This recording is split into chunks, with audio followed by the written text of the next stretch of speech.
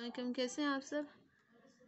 Hope so सब career से होंगे। सो मैं कुछ न्यूमोनिक्स बना रही थी एएनएस की सो मैं सोचा कि मैं शेयर भी कर दूँ। ये मज़े की है। मेरी राइटिंग समझ ना भी आई सो प्लीज़ माइंड नहीं करिएगा। छोटी सी वीडियो होगी, उसको अपने न्यूमोनिक बुक पे लिख लें और याद करें। ठीक है? कोलिनोमेमेटिक ड्रग्स जो है ना, अब इसको ना हम इस तरह से डिवाइड करते हैं ना कि डायरेक्ट एक्टिंग आती है, उसमें इनडायरेक्ट एक्टिंग आती है। ठीक है? तो डायरेक्ट एक्टिंग में मस्कुलिनिक होती है निकोटिनिक होती है। इनडायरेक्ट में एंड्रोफोनियम होता है। कार्बामेट होता है ऑर्गेनोफोस्फेट वगैरह होते हैं, ठीक है?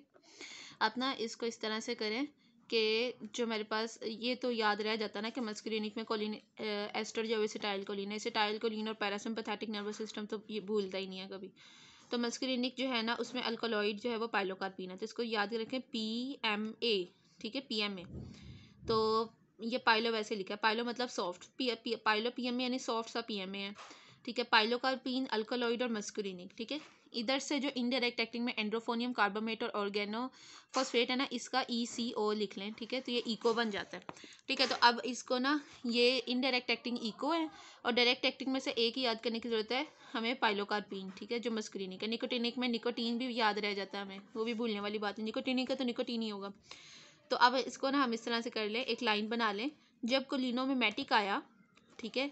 इको गुंजी इको ना, आवाज़ है इको गुंजी के पीएम में आया है, ठीक है? तो इको यानी कि कोलिनोमेमेटिक में हमारे पास एंड्रोफोनियम कार्बामेट और ऑर्गेनोफोस्फेट होंगे और पीएम में यानी कि पाइलोकार्पिन जो है वो मस्क्यूरिनिक ड्रग होगी, ठीक है? और वो अल्कलॉइड होगी तो ये इसके अंदर आते हैं।